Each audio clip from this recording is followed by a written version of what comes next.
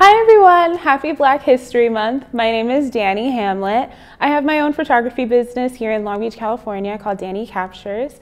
I'm super passionate about creativity, which is why I've chosen to read the book What If by Samantha Berger. So let's get into it.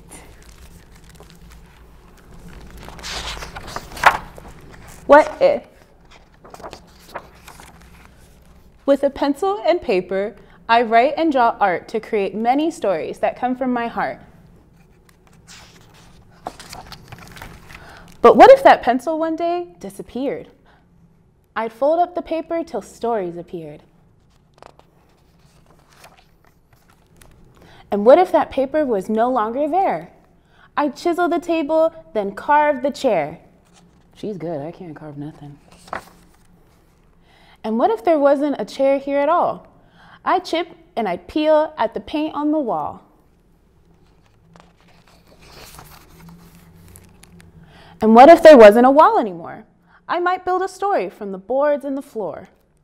Without any floor, I could still use the land and sketch out a table in the dirt with my hand. Look at all the planets.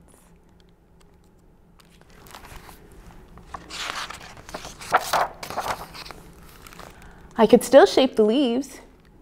I could still sculpt the snow.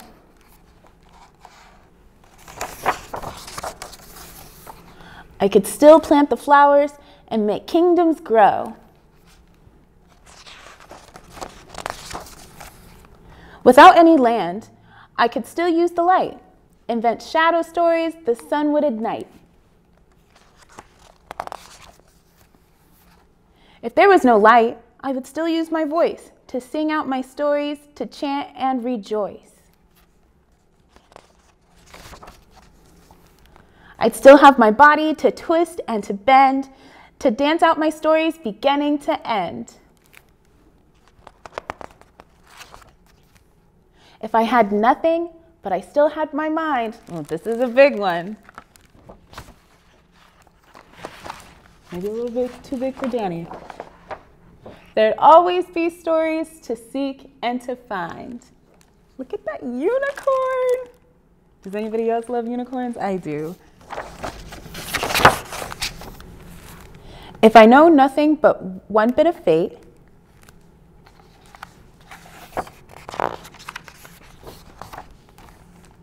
as long as I live, I will always create. As long as I live, I will always create. The end. Happy Black History Month. I hope you get a chance to create sometime this month. And yeah, enjoy the rest of your day.